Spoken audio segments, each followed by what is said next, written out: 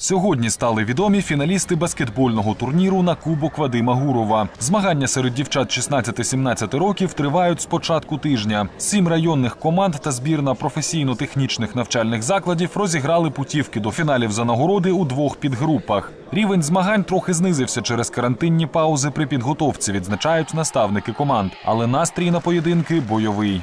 Думаю, что де- э, девочек не надо настраивать, они сами себя настро- настроят. Мы не первый год участвуем в этих соревнованиях, и с каждым годом делаем шаг вперед. Надеемся, что в этом году э, поднимемся еще на одно место вперед. Команда Довгинцівського району торік взяла бронзу. Вже за результатами групового етапу дівчата перевершили своє попереднє досягнення. Посівши перше місце у підгрупі, вони вийшли у фінал і поборються за головний трофей. Їх суперницями стала команда Саксаганського району, яка переграла усіх опонентів у своїй групі. Это мой второй турнир уже Гурова Я считаю достойно, потому что команда довольно-таки сильная.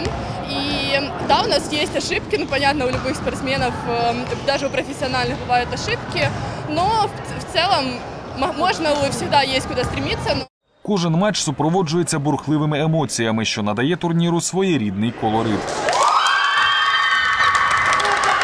За підсумками групового раунду також визначилась пара, яка завтра боротиметься за бронзові нагороди. Це команди Покровського та Саксаганського районів. Треті сходинки у своїх групах посіли колективи Інгулецького і Тернівського районів. А останні збірна професійно-технічних навчальних закладів та команда металургійного району. Денис Пляц, Олексій Правицький. Цей день спорт.